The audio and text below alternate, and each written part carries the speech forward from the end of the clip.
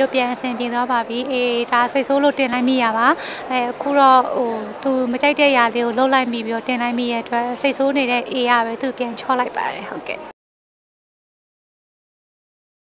ဒီ relationship တစ်ခုမှကြတော့သူမှားတဲ့ခါရရှိရင်လည်းသူချော့တယ်ကိုမှားတဲ့ခါရရှိရင်လည်းကိုချော့တယ်ဒါကတော့အပြန်အလှန်ပါပဲဟုတ်ကဲ့ အဲမလိုပါသေးရဲ့အေးအောင်ကူမဒီနုပညာလေးစစ်စစ်စစ်စစ်နဲ့လုံနေတဲ့အချိန်ဆိုတော့လေအဲသူလဲဟိုသူလဲသူလှုပ်ချင်တဲ့အရာလေးအများကြီးရှိသေးတယ်အေးတို့နှစ်ယောက်တိုင်မထားရလေးကိုလည်းရှိပါတယ်ဟုတ်ကဲ့သူကတော့ပျော်နေရပါတော့သူကအေးကိုအရန်တချင်းဆိုစေချင်တာဆိုတော့လေဟိုသူဖြစ်ချင်တဲ့ဆန္ဒလေးဖြစ်ခွင့်ရသွားတယ်ဆိုတော့ဟိုသူလဲအေးကိုသူအများကြီးသူတည်တဲ့လောက်လေးတွေသူလုံပေးနိုင်တဲ့လောက်လေးသူအေးကိုလုပ်ပေးသွားမှာပါဟုတ်ကဲ့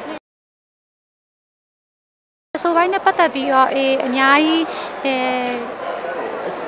လှုပ်တက်သွားရင်ဆိုးတက်သွားရင်အသိပညာအများကြီးရသွားရင်တော့လှုပ်လှုပ်ဖြစ်မယ်လို့ထင်ပါတယ်ဟုတ်ကဲ့အာဟုတ်ကဲ့အေးကလေးဆန်ပြီးတော့ဟိုလှုပ်လိုက်မိရဲ့အပြုတ်မှုတစ်ခုပါ